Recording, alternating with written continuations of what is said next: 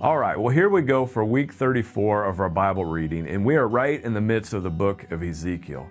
Now, with some of these videos, we've hit on some of the important dates in the history of the nation of Israel, the nation of Judah, and I want to do that again because, again, it gets kind of confusing about when these prophets were working, who they're speaking to, things like this. So let's remember the two big dates 597 and 586. So in 597, uh, this was the first of the exile. Sometimes we think the exile took place just at one time, but actually it happened in waves. And so in 597, a group goes there, they are taken captive to Babylon. And Ezekiel, he finds himself being brought to that nation during this time. Now, the other important date that we need to remember is 586 BC, and this is when the city of Jerusalem and the temple is destroyed. Now, what happens in between those two dates is that Ezekiel, he's about 30 years of age, he receives his call to ministry, his call to be a prophet. And this happens in 593 BC.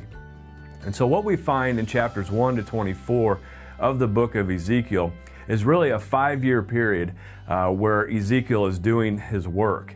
And so he is prophesying this doom and destruction. He's really giving all these uh, visible signs as well about the destruction that is going to take place.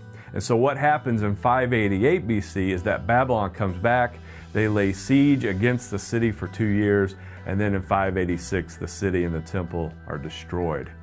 Now, we remember from our reading with Jeremiah uh, that he was prophesying as well the destruction of the city.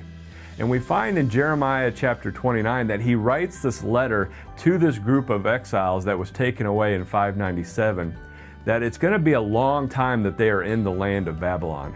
Now, what the false prophets were saying and what the people believed is that it would just be really a short time, maybe a couple years, and then they would be brought back. Part of the reason they had this confidence is because they had placed their confidence, really this overconfidence, in the city of Jerusalem and also the temple. They could just not imagine that the city and the temple would be destroyed. So again, they had this, this overconfidence in that place, in the temple. And I think that's a good word for us. What do we place our confidence in?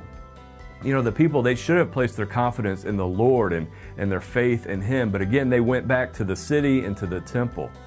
And so, as we think about our own life, what are different things that we put confidence in? And some of this could be good things. It may be um, our baptism that you did, maybe a great experience that you had at youth camp. You may have grown up in a Christian home. What I find sometimes talking to people about their faith, and you say, you know, do you know Jesus? Uh, could you tell me a little bit about your story of knowing Christ? They don't talk about the person or work of Jesus. Instead, they go back to these things they put confidence in baptism, some experience they had growing up in a Christian home. And these are all great things.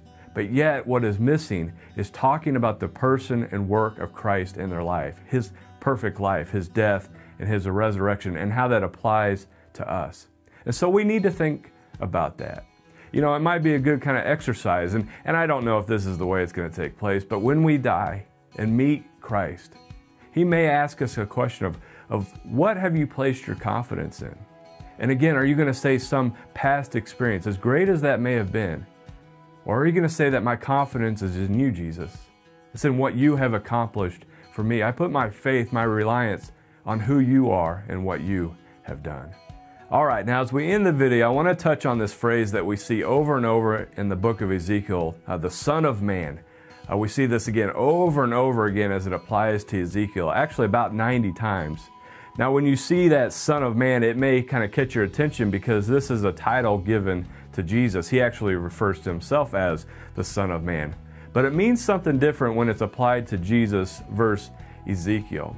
When it applies to Jesus, uh, and we really get more insight into this in Daniel chapter 7, it is speaking of Christ's humanity, but also that he is divine. Okay, he's the Messiah, and then this Messiah is truly a human, but also truly God. And so this is what it means when, when Christ uses this title. But when it's applied to Ezekiel, it is just speaking of his humanity. So, what we see in this book of Ezekiel is these great visions of the Lord, that he is eternal, that uh, he is glorious. And so, when uh, Ezekiel is called the Son of Man, it's really this contrast between the eternal, glorious God and Ezekiel, who's just a human. Now we may hear that and say, "Ah, oh, that sounds kind of kind of tough, kind of this lowly picture." But it's important for us to have a proper perspective as we think about the Lord and also who we are.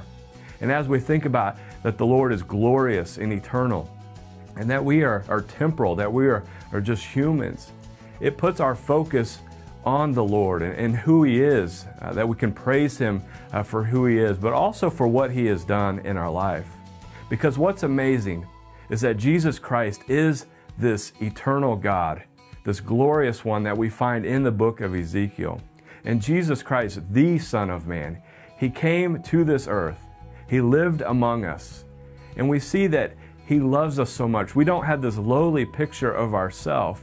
We see how much Christ, how much God loves us, that He would come to this earth, live amongst us, die for us, so that we could be with the eternal and glorious God for all eternity. I just think that is amazing as we think about that term, the Son of Man, and how it applies to Jesus Christ.